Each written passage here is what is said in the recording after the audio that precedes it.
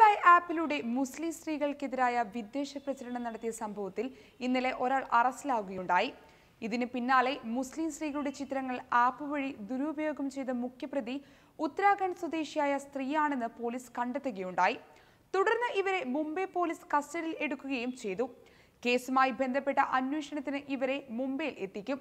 തുടർന്ന് ട്രാൻസിറ്റ് റിമാൻഡിനായി ഇവരെ ഉത്തരാഖണ്ഡ് കോടതിയിൽ ഹാജരാക്കുമെന്നാണ് വിവരം ലഭിച്ചത്. തിങ്കളാഴ്ച ബംഗളൂരുവിൽ നിന്ന് ഇരുപത്തൊന്നുകാരനായ എഞ്ചിനീയർ വിദ്യാർത്ഥിയെ പോലീസ് കസ്റ്റഡിയിലെടുത്തതിനു ശേഷമുള്ള കേസിലെ രണ്ടാമത്തെ കസ്റ്റഡിയാണിത്. ഇരുവരും കേസിലെ കൂട്ടുപ്രതികളും പരസ്പരം അറിയാവുന്നവരുമാണ്. ഫേസ്ബുക്ക് ഇൻസ്റ്റഗ്രാം തുടങ്ങിയ സോഷ്യൽ മീഡിയ പ്ലാറ്റ്ഫോമുകളിൽ ഇവർ സുഹൃത്തുക്കളാണെന്ന് പോലീസ് കണ്ടെത്തി. ബുള്ളിബായ് ആപ്പ് വിവാദവുമായി ബന്ധപ്പെട്ട മൂന്ന് അക്കൗണ്ടുകളാണ് കസ്റ്റഡിയിലായ യുവതി കൈകാര്യം ചെയ്തിരുന്നത്. ഈ കഴിഞ്ഞ ദിവസമാണ് കേസിൽ ആദ്യത്തെ അറസ്റ്റ് രേഖപ്പെടുത്തിയത്. ബംഗളൂരിൽ വെച്ചാണ് വിശാൽ ദാണ്ഡയെ മുംബൈ പോലീസ് അറസ്റ്റ് ചെയ്തത്. കൂടാതെ ഇന്നലെ മുംബൈയിൽ എത്തിച്ച ഇയാളെ ഇപ്പോഴും പോലീസ് ചോദ്യം ചെയ്തു വരികയാണ്. അറസ്റ്റിലായ യുവാവ് കേസിൽ കൂട്ടുപ്രതിയാണെന്നും യുവതിയുമായി ബന്ധമുണ്ടെന്നും പോലീസ് പറഞ്ഞു. വിവിധ രംഗങ്ങളിൽ മികവ് തെളിയിച്ച മുസ്ലിം സ്ത്രീകളുടെ ചിത്രങ്ങൾ ശേഖരിച്ച് പ്രദർശിപ്പിച്ചാണ് ബുള്ളിബായ് എന്ന പേരിൽ ആപ്പ് പ്രത്യക്ഷപ്പെട്ടത്.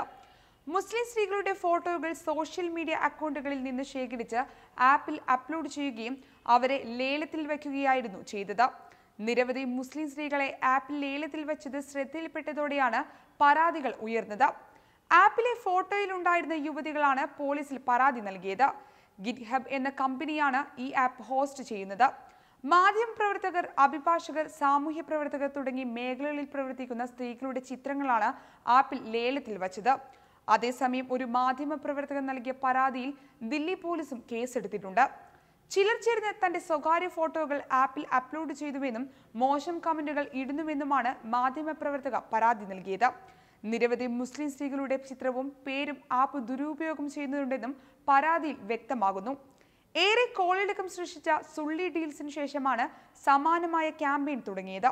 ഇതിന് പിന്നാലെ സ്ത്രീവിരുദ്ധത പ്രചരിപ്പിക്കുന്നതും സ്ത്രീകളെ വർഗീയമായി ലക്ഷ്യമിടുന്നതുമായ പ്രചാരണങ്ങൾക്കെതിരെ നടപടി ആവശ്യപ്പെട്ട് ശിവസേന എം പി പ്രിയങ്ക ചതുർവേദിയും രംഗത്ത് വന്നിരുന്നു. സംഭവം വിവാദമായതോടെ ബുള്ളിബായ ബ്ലോക്ക് ചെയ്തെന്ന് കേന്ദ്ര ഐ മന്ത്രാലയം അറിയിച്ചു. കൂടാതെ മുസ്ലിം സ്ത്രീകൾക്കെതിരെ വിദ്വേഷ പ്രചരണം നടത്തിയ ട്വീറ്റുകൾ നീക്കം ചെയ്യാൻ ട്വിറ്ററിന് ഡൽഹി പോലീസ് കഴിഞ്ഞ ദിവസം നിർദ്ദേശം നൽകിയിരുന്നു. ഇതിന് പിന്നാലെയാണ് മുംബൈ പോലീസ് ഒരാളെ പിടികൂടിയത്. സമൂഹത്തിൽ ശത്രുത വളർത്തൽ മതവികാര വ്രണപ്പെടുത്തൽ സ്ത്രീകളുടെ മാന്യതയെ അപമാനിക്കൽ അപകീർത്തിപ്പെടുത്തൽ അശ്ലീയമായ കാര്യങ്ങൾ പ്രസിദ്ധീകരിക്കുകയോ കൈമാറുകയോ ചെയ്യൽ തുടങ്ങിയ കുറ്റങ്ങൾ ചുമത്തിയാണ് പോലീസ് ഇവർക്കെതിരെ കേസെടുത്തിട്ടുള്ളത്. കൂടാതെ ഡൽഹി പോലീസും മുംബൈ പോലീസും എഫ്ഐആർ രജിസ്റ്റർ ചെയ്തിട്ടുമുണ്ട്.